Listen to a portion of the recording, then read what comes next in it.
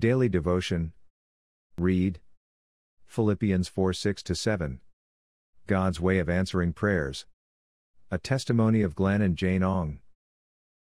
August 16, 2019. The De Ong family found out that Jane was pregnant. It was a special day, a gift of life, a new beginning. Yet it is the same day of Jane's dad's first birthday in heaven.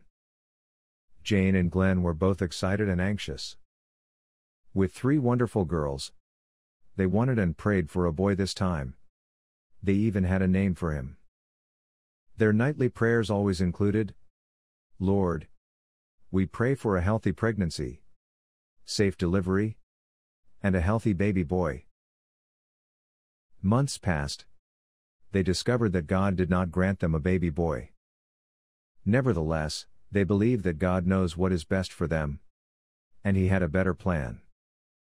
God answers their prayers with yes, no, or wait. They chose to submit to His wisdom.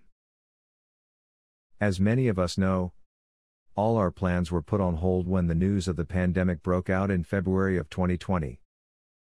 By mid March, Manila and other key cities were placed under lockdown. Businesses were closed, schools were suspended, and visits to the doctor were made by appointment. Jane's doctor did not want to see her unless it was urgent due to the risk of contracting the dreaded virus. They were quietly worried because of the uncertainty. She underwent induced labor for their first three girls, which meant she was admitted in the hospital even without active labor. This time, the couple was unsure if it was safe at all to go to the hospital to give birth, especially when most of the hospitals are in maximum capacity due to its rising numbers of COVID patients.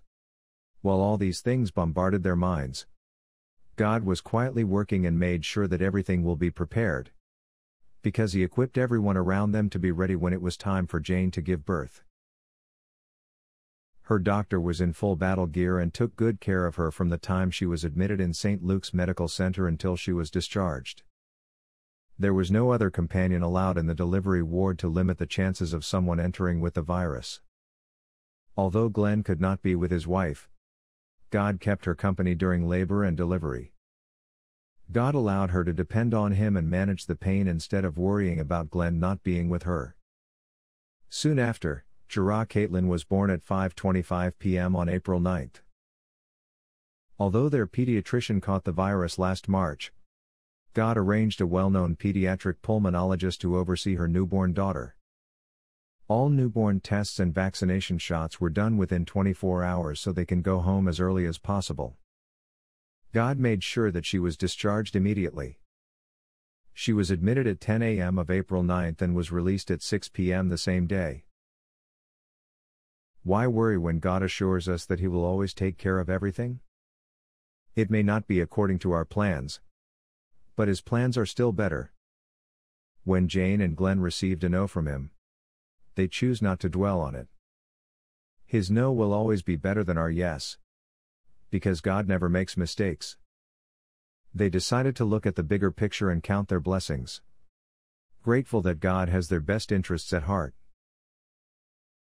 Reflection God hears our prayers.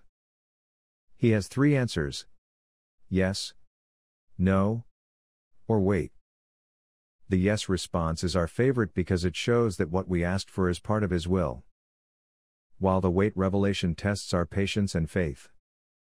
On the other hand, accepting the no answer from God may be difficult. But after that, we will understand how His plans are always better. With these different answers, may we put our trust in God by submitting, thanking, and waiting for His perfect timing. Prayer Lord Jesus, we thank you for preparing everything for us, your children. You are showing that you are our Father who will provide things that we need.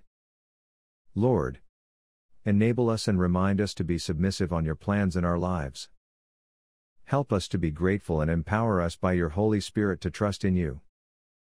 In Jesus' name, Amen.